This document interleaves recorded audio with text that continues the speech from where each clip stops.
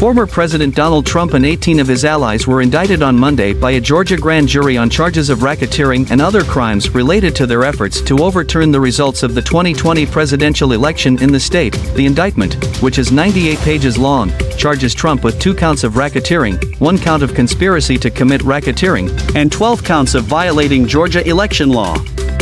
The other 18 defendants are charged with one count of racketeering conspiracy and one count of violating Georgia election law. The indictment alleges that Trump and his allies engaged in a criminal enterprise to unlawfully interfere with, influence, and obstruct the lawful administration of the 2020 general election in the state of Georgia.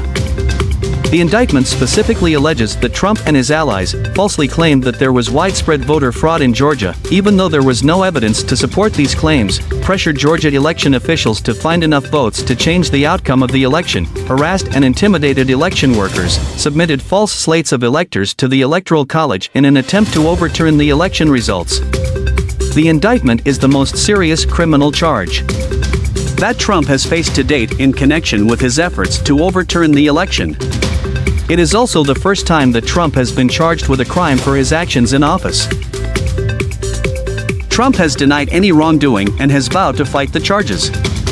He has also called the investigation into his actions a witch hunt. The indictment is a major development in the ongoing investigation into Trump's efforts to overturn the election.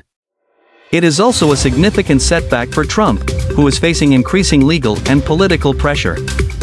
It remains to be seen whether Trump will be convicted of the charges, but the indictment is a sign that the Justice Department is taking the investigation seriously. The indictment comes after a months long investigation by Fulton County District Attorney Fani Willis. Willis said in a statement that the indictment is a major step for our team. But it is only one step.